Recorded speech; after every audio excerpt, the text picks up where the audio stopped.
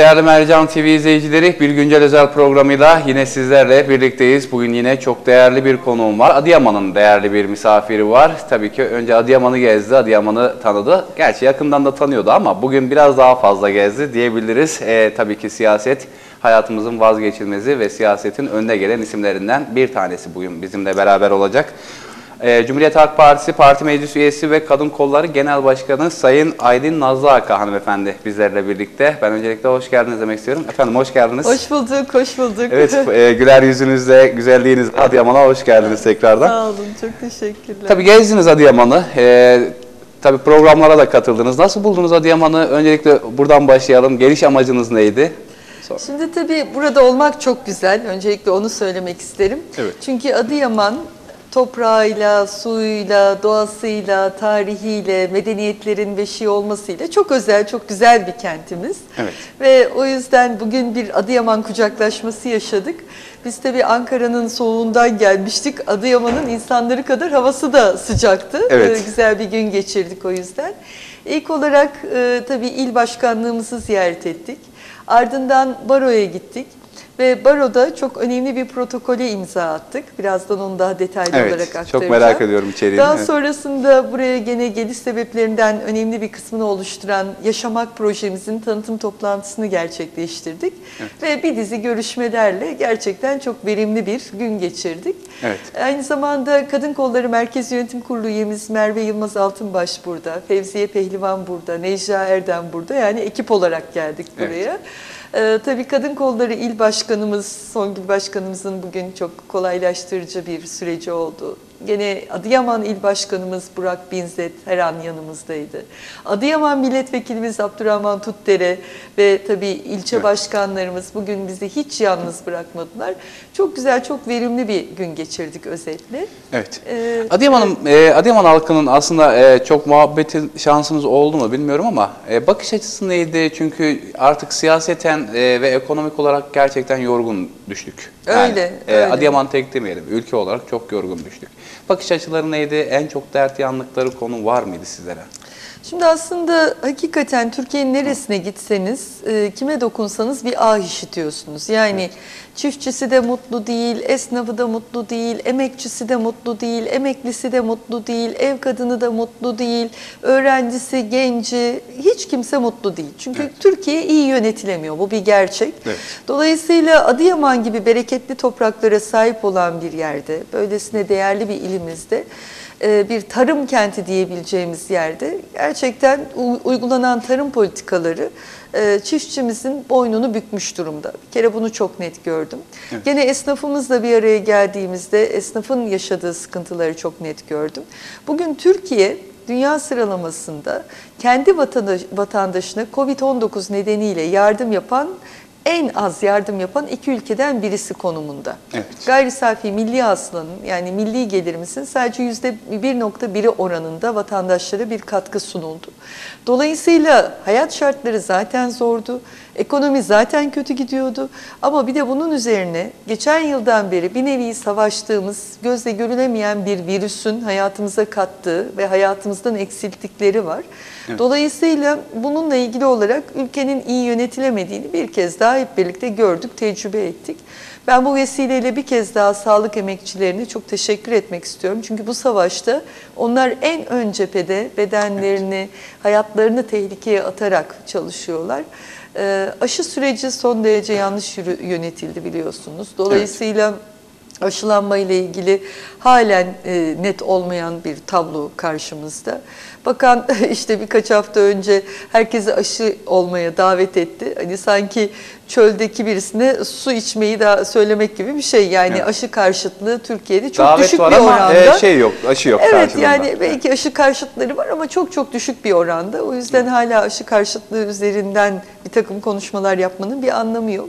Şimdi tekrar bir kapanma sürecine girdik. E bu kapanma sürecinde esnaf ne yaşayacak, ne olacak? Bütün bunlar tabii tekrar gündemimizde olan konular. Evet. Ee, bizim bugün buraya gelme sebebimiz aslında e, kadın kollarımızın da ana faaliyet alanı olan kadına yönelik şiddetli mücadele kapsamındadır. Evet. Ee, bir kere biz göreve geldikten sonra e, iki ayrı kategoride çalışmalarımızı yürüttük. Bunlardan bir tanesi e, örgüt içi çalışmalar. Örgüt içi çalışmalarda ne yaptık diyecek olursanız eğer göreve gelince bir mevcut durum analizi yaptık. Yani Türkiye'de biz ne noktadayız kadın kolları örgütlenmesi olarak. Gördük ki epey eksikliklerimiz varmış. Bunları tek tek tamamladık. E, bu noktada Adıyaman'da da örgütlenmemizin tümünü gerçekleştirdik. Yani hem ilçelerde Evet. hem de mahallelerimizde Cumhuriyet Halk Partisi kadın kollarını temsilen e, güzel bir yapılanmayı kurduk. Diğer taraftan dedik ki kadın üye sayısını arttırmamız lazım. Çünkü partimizin erkek üye sayısı kadın üye sayısının 3 katı kadar Üç katı fazla. evet. Dolayısıyla bunu arttıracağız. Hızla üyeleme çalışmalarına başladık. Ve şu anda da çok e, iyi gidiyor. Yani bu gidişle biz yarı yarıya olacağız. Yani partinin Evet. yarısı kadın yarısı erkeklerden diyorsunuz. oluşacak gibi görünüyor. Ama tabii üyeleme çalışması yaparken kadın erkek fark etmez. Biz herkesi Cumhuriyet Halk Partisi'ne, e, ailesine davet etmeyi önemsiyoruz. Üyeliği şu açıdan çok e, önemli buluyoruz. O aidiyet bağı kurulduğu zaman daha farklı oluyor o, süreç. O yüzden hani tabii Evet. ki bize oy veren ama e, üye olmayan vatandaşlarımız da var. E, ama üye olmalarını tercih ediyoruz. Devlette çalışanlar var. Onların üye olamama sebeplerini de son derece iyi anlıyoruz. Evet. Fakat istiyoruz ki aramızdaki o üyelik bağı da daha sıkı kurulmuş olsun. Evet. Bir yandan içe dönük olarak bu çalışmaları yürütüyoruz. Diğer taraftan gene dedik ki siyasi eylemlilik için siyasi bilincin de yükselmesi lazım. Bu amaçla her e, salı günü e, öğlene kadar eğitimler organize ediyoruz. Mesela bugünkü konuğumuz eski genel başkanımız Sayın Altan Öymen. O bize Cumhuriyet Halk Partisi'nde kadın kollarının tarihini aktaracak. Evet. E, böyle güzel bir konuşma ya- yapmakta şu- evet. yaptı daha doğrusu bugün. Ee, ben tabii katılamadım burada olduğum için o eğitime. Evet. Ama bir yandan eğitim, üyelik ve e, örgütlenme çalışmaları sürerken diğer taraftan tabii e, Cumhuriyet Halk Partisi olarak ülkemizin en yakıcı sorunlarından birisi olan kadına yönelik şiddetle mücadele kapsamında da bir projeyi hayata geçirdik. Evet. Ne yapıyoruz derseniz bu projeyle kısaca onu da anlatayım Tabii, tabii, buyurun. isterseniz Evet. e, Nazım Bey. Şöyle ki bir çağrı merkezi kurduk genel merkezimizde. Ve bu çağrı merkezi kanalıyla 7-24 şiddet mağduru olan kadınlara, istismara uğramış olan çocuklara katkı sunuyoruz. Mesela Adıyaman'da da biliyorsunuz yanı, yakılarak öldürülen bir kız kardeşimiz oldu. Maalesef, evet. Gene istismar vakaları oldu. Biz bütün vakaların tek tek üzerine gidiyoruz. Türkiye'nin her yerinde var bu vakalar. Çok Muhakkak. üzücü ama Evet. her gün en az bir kız kardeşimiz yaşamını kaybediyor. Ee, şunu gördük, dedik ki yani e, bu arkadaşlarımız ekonomik olarak erkeklerle eşit koşullara sahip olamayabilir. Yani ekonomik e, avantaja sahip olmayabilir, ekonomik güce sahip olmayabilir. Fiziksel güce de sahip olmayabilir erkek kadar ama bilgi de önemli bir güçtür. Onların eline biz o bilgi gücünü veriyoruz. Yani Evet. haklarını anlatıyoruz onlara. Aynı zamanda bu sabah Baro ile imzalamış olduğumuz protokolün de bir parçası olduğu hukuki destek hizmetini sunuyoruz. Evet. Yani şiddet gören arkadaşlarımız bizi aradıklarında biz onlara ücretsiz olarak hukuki destek hizmeti sağlıyoruz. Aynı zamanda Türk Psikolojik Danışmanlık ve Rehberlik Derneği ile bir protokolümüz var. Bu çerçevede de psikolojik destek hizmetleri Çok güzel. sunuyoruz. Gene ücretsiz olarak. Cumhuriyet Halk Partili belediyelerin olduğu yerde şiddet gören kadınların sığınma evine yerleştirilmesi noktasında yardımcı oluyoruz onlara. Onları kadın dernekleriyle tanıştırıyoruz. Çünkü şunu gördük. Şiddet gören kadınlar bir süre sonra kendisini e, İçe izole ediyor, evet. içe kapanıyor ve Evet. e, o kendi içine kapanma halinden kurtulmasının tek yolu var. E, yaşadıklarını paylaşmak ve güvendiği insanlarla bir arada olmak. Onun için onu onları kadın dernekleriyle de bir araya getiriyoruz. Elbette Büyük Cumhuriyet Halk Partisi ailesinin bir parçası haline getirmeyi çok önemsiyoruz. Evet. Ama bu onların tercihi. Yani biz insanları siyasi görüşlerine göre e, değerlendirmiyoruz. Siyasi görüşlerine göre onlara destek olmuyoruz.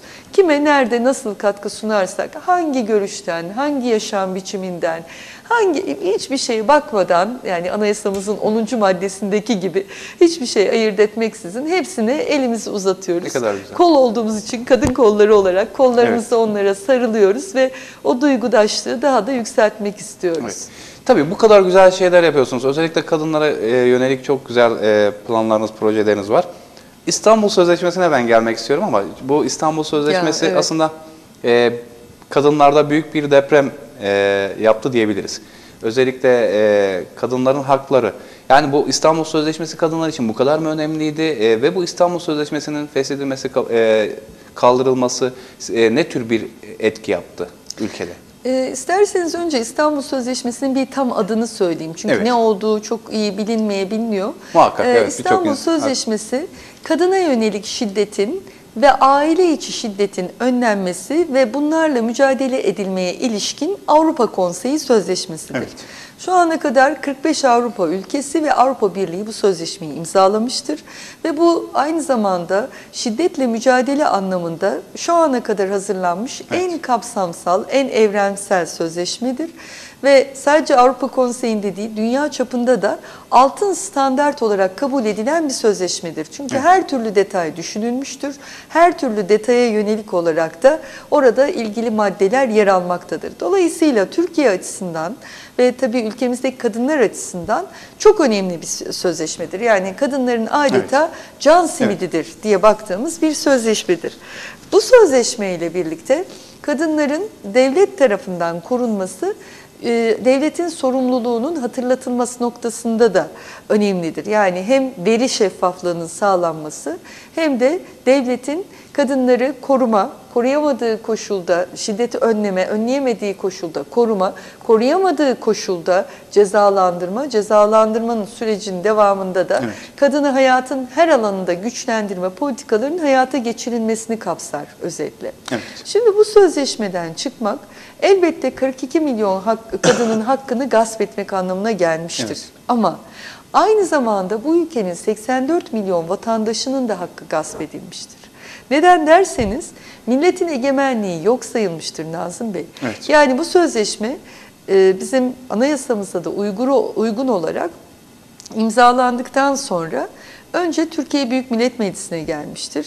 Türkiye Büyük Millet Meclisi'ne oy birliğiyle geçmiştir. Bakın altını çiziyorum oy birliğiyle. O dönem Evet. mecliste dört siyasi parti vardı ve dördü de imza vermiştir. Ee, bu şekilde aktarmamın sebebi ben 2011 yılında sözleşme imzalandığında da 2014 yılında sözleşme genel kurulda e, meclisten geçtiğinde de milletvekiliydim. Yani bu- Evet. bu sözleşme için olumlu oy kullanan bir milletvekiliydim. Evet. Ve o dönem Türkiye herhangi bir çekince dahi olmaksızın sözleşmeyi kabul etmiştir. Ve sözleşmeyle ilgili olarak hep çok güzel konuşmalar yapılmıştır bugün ülkeyi yönetenler tarafından. O dönemde bakan olan kişiler tarafından. Evet. Ve bugün gene çeşitli mevkilerde olan AKP temsilcileri tarafından. Yani o gün bu sözleşme bizim gurur kaynağımızdı da bugün ne oldu? Tükaka oldu değil mi? Biraz dönüp buna bakmak Ne döndü lazım. aslında? Evet orada yani değişen ne oldu? 2011 ile şimdi arasında ne fark oldu ki e, o gün kabul edilen sözleşme bugün hemen e, apar topar e, yürürlükten kaldırılıyor. Bunu aslında biraz düşünmek gerekiyor. Bu çünkü kafa yorma, yorulması gereken bir şey. Hem halkın hem siyasilerin. Yani ne değişti?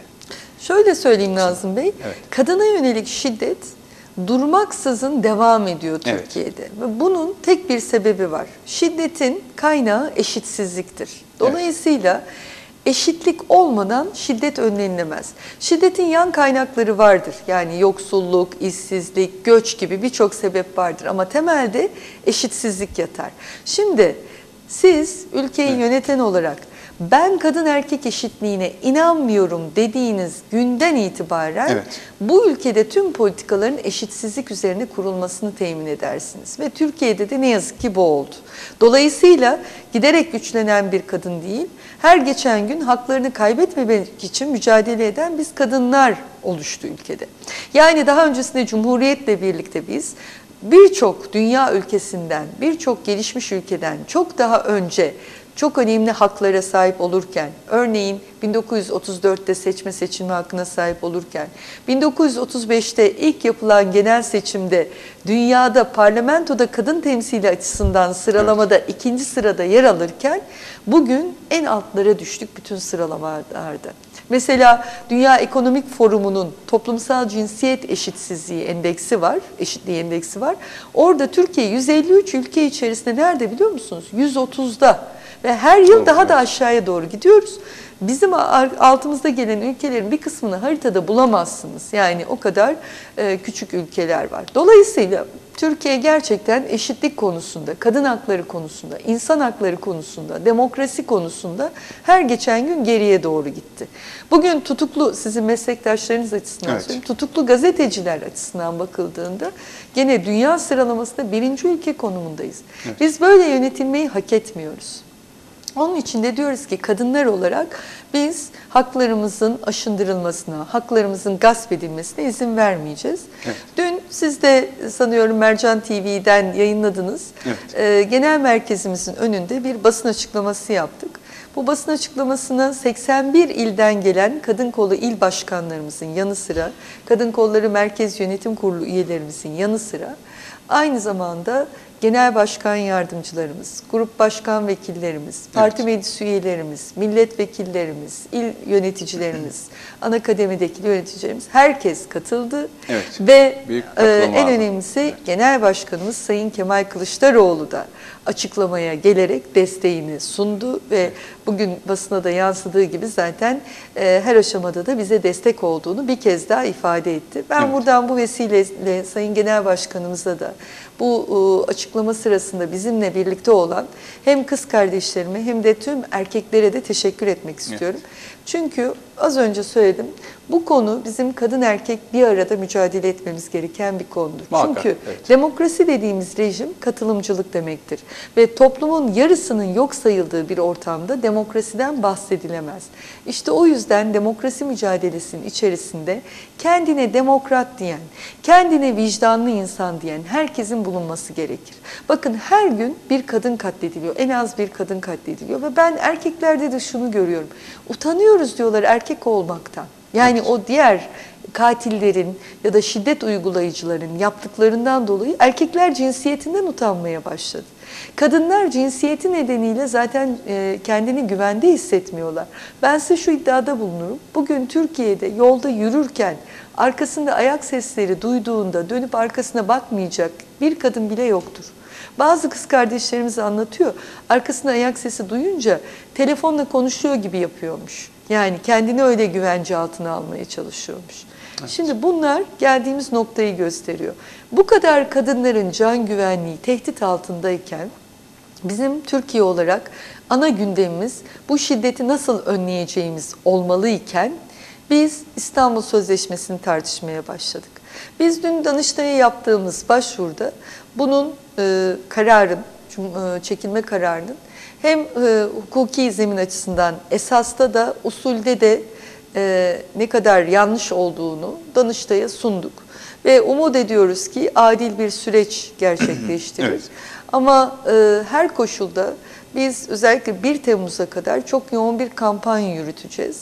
Bu kampanyanın içerisine tüm kız kardeşlerimizi de, tüm eşitlikçi erkekleri de davet ediyoruz. Önümüzdeki günlerde kampanya ile ilgili daha detaylı da aktarımlarımız olacak. Evet. Ama şiddetle mücadelede yan yana olmamız çok önemli. Yani evet e, şöyle bir şey değerli izleyiciler zaten e, hani şiddeti aslında sözleşme tamam İstanbul Sözleşmesi e, gerekliydi bu ülke için.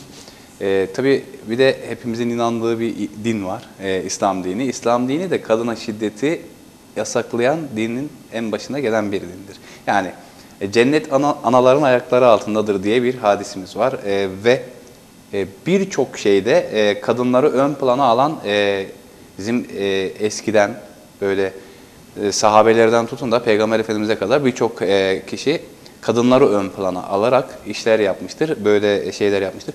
Yani bugün neden bu kadar e, canileştik diyebilirim yani bir erkek olarak bunu söylemekten siz de söylemiştiniz aslında ama utanıyoruz ama yani bu olmaması gereken bir şey değil, imkansız olması gereken bir şey. Çünkü biz kadınları e, dediğimiz gibi yani biz neysek onlar da odur zihniyetiyle yaşamalıyız. Eve gittiğimizde, e, dışarıya çıktığımızda, e, annelerimizle mesela bir iş yaptığımızda hep yanımızda kadınlar var. Hani bunu yadır, e, hiçbir şekilde inkar edemezsin bir erkek olarak. Yani bunu bir kere e, her konudan, her açıdan baktığında kadınların e, seninle eşit olduğunu görebiliyorsun. Yani bu eşitsizliğin e, tamamıyla ortadan kaldırılması muhakkak ki gerekiyor. E, Bilmiyorum hani belki e, şu anki yönetimimizden kaynaklanan bir şey ya da işte insanların içerisinde bulunduğu durumda e, etki ederek e, bu cinayetler, bu şiddet, bu işte e, sapkınlıklar oluyor muhakkak. E, bizim elimizde olan bir şey durdurmak bizim elimizde. Kadınlarımızla birlikte durdurabiliriz bence. Hani bunu siz de aslında söylediniz.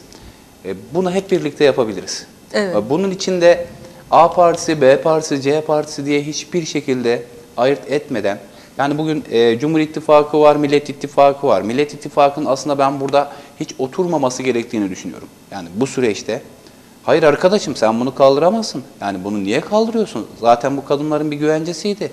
E, bunu yapmaları gerekiyordu. Ben öncelikle şunu sormak istiyorum.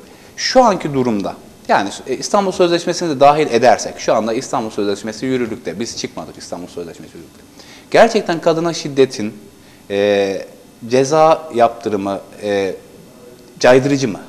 Yani böyle bir caydırıcılığı var mı bu ülkede? Şimdi e, bu size İstanbul Sözleşmesi'nin maddelerinden birisi olan aslında ülkeyi yönetenlerin yapması gereken Evet. ama bunu çok da hakkını vererek yerine getiremediği o Evet. yüzden bizim de icracı bir fonksiyonu üstlenerek kurduğumuz bir hattan bahsetmiştim. 444 72 70 e, 82 84 hattından.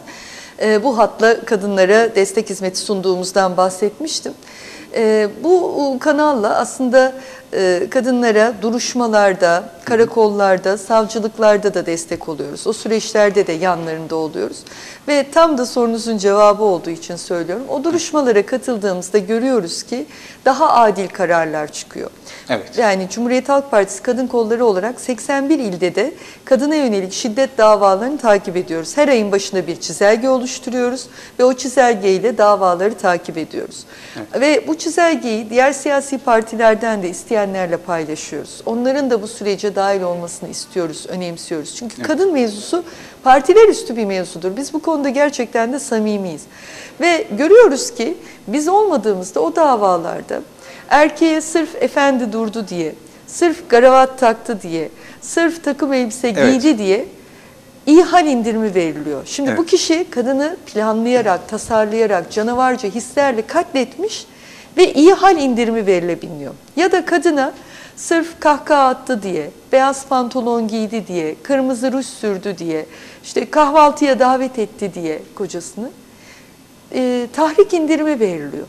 Dolayısıyla sorunuzun cevabı ne yazık ki adil kararlar çıkmıyor.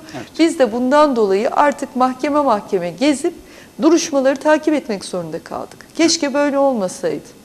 Evet. Yani adı adalet olan bir partinin yönettiği ülkede biz adaleti mumla arar hale geldik Evet. Nazım Bey. Aslında e, sadece şiddet de- dediğimizde yani e, vurma kırma değil, kadına yönelik şiddetin birçok e, Tabii. şey var. Boyutu var. E, ben özellikle sizin partinizden olan Sayın Fatma Hanım, Fatma Ulu Bey e, vekil adayınızdı e, Adıyaman e, milletvekili adayın adaylarınızdan bir tanesiydi. Hala mahkemede e, tütünü savunduğu için e, hala mahkemeye gidip geliyor. Yani biz bunu takip ediyoruz basın mensupları olarak. Çünkü Fatma Hanım ayrıca bizim basın ablamızdır. Onu da söyleyeyim. E, ve bu bir, bu bile bizim için bir şiddettir. Yani Tabii, neden? tabii, tabii. Neden yani bir tütünü savunduğu için ben de savunuyorum. Benim memleketimin Tabii ee, Adıyaman için evet. tütün yani bir gelir kaynağım. Kay- ben de savunuyorum. Beni de o zaman hadi mahkemelerde sürünün. Neden Evet. yani bir e, bu tütünü savunduğu için ki Fatma Hanım'ın yani mesela biz de biliyoruz Adıyaman çok iyi tanır. Hiçbir şekilde e, böyle mütevazi duruşu, böyle güzel e, sözleriyle insanları böyle cezbedecek birisi. Yani herkes onun e, ona bir abla gözünde bakar ve bu insan benim için e, bir şiddete maruz kalıyor şu anda. Nazım Bey Evet. şiddet sizin de ifade ettiğiniz gibi sadece fiziksel ya da cinsel şiddeti kapsamaz. Aynı zamanda psikolojik şiddeti kapsar. Aynı zamanda ekonomik şiddeti kapsar.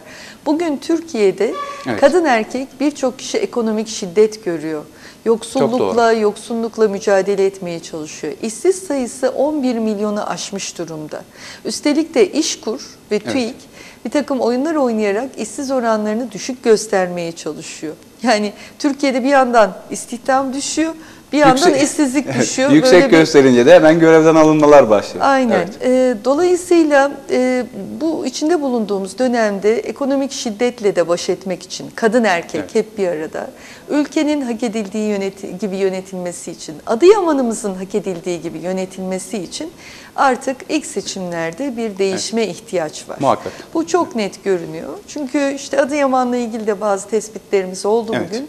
Gerçekten buranın da e, ciddi yani hem e, tabii ki Son e, yaşanan merkezi olaylar hükümet- Adıyaman'da büyük bir etki yaptı Evet, diyebiliriz. evet. Dolayısıyla Evet. e, inşallah bunların hepsini açı- aşacağız. İnşallah. Burada Cumhuriyet Halk Partisi var. Cumhuriyet Halk Partisi kadrolarıyla, projesiyle ve geçmişten bu yana ülke kaderinde üstlenmiş olduğu, her zaman en kritik zaman- zamanlarda üstlenmiş olduğu o rolüyle gene e, sapasağlam duruyor. İdeolojisiyle, varlığıyla vatandaşlarımıza güven vermeye devam ediyor. Evet. Ama biz artık bu güveni, bu projeleri, bu ekibi ilk seçimlerde e, icracı konuma getirerek Umarım, inşallah vatandaşlarımıza dokunmak istiyoruz. Çünkü Evet. öteki türlü sadece söylemleriniz vaat olarak kalıyor. Muhakkak. Hani e, siz de az önce dediniz ya muhalefet bu noktada ne yapacak? Muhalefet her şeyi yapıyor da Evet. sonuçta bütçe bizde değil, yönetim bizde değil. Yani Onun eksikliği kamyon de var, yokuş evet, aşağı aşağı maalesef. doğru yuvarlanıyor. Freni patlamış e, kamyon. İstediğin kadar önüne Ama geç, tutamazsın. şoför Evet. başka. Bizim e, hakikaten ilk seçimlerde artık şoförü değiştirmemiz gerekiyor ki ülke hak edildiği gibi yönetilsin. Evet. Tabii ki çok önemli konularda aslında ben e, süremiz çok kısıtlı. İsterseniz çok kısa bir şekilde ekonomiye de değinmek istiyorum. Çünkü ekonomi de çok önemli. E, özellikle pandemi dolayısıyla esnaflar tamamıyla kana alıyor. Yani kapatan esnaflardan tutun da kredi yükü altında ezilen esnaflar, evine ekmek götüremeyen esnaflar. Hatta ben e, vatandaşın nabzını da tut- tutan bir program yapıyorum. E, bu arada vatandaşın en çok söylediği şey ve benim de çok hoşuma giden bir teklif. Devlet bize bin lira vermesin. Biz devletin verdiği bin lirayı istemiyoruz. Bizim e, Bağkur ve SSK e, borçlarımızı ertelesin ya da e, bize bu süreç içerisinde Bağkur'dan muaf etsin ya da SSK'dan muaf etsin. Bizim o yükler daha ağır diyorlar. Biz evimize bir, bir şekilde ekmek götürebiliriz. Yani esnaf artık e, tamamıyla devlete ödediği vergi ve e, şeyleri düşünüyor. Yani daha bırakın eve ekmek götürmeyi bunları düşünmeye başladı. Ya böyle bir süreçteyiz. Ekonomi tamamıyla darboğaz içerisinde. Bununla ilgili neler söyleyeceksiniz? Esnaflarımız hiç merak etmesinler. Evet. İlk seçimde biz o yaşadıkları mağduriyetleri telafi edeceğiz. Çünkü çok net söylüyoruz bir esnaf bakanlığı kuracağız ve sadece ve sadece Evet. esnaflarımızın sorunlarına odaklanacağız. Bakın esnaflarımız bu aç kapa politikaları arasında heba oldular. Yani kredi alıyorlar, iş yerine yatırım yapıyorlar. Ondan sonra kapama politikası gündeme gelince bu sefer e, aldıkları kredinin faizini bile ödeyemiyorlar. Evet. Dolayısıyla biz kara listenin silinmesinden tutun o faizlerini aldıkları kredinin faizinin e, sıfırlanmasına kadar birçok konuda esnafımızın yanında olacağız.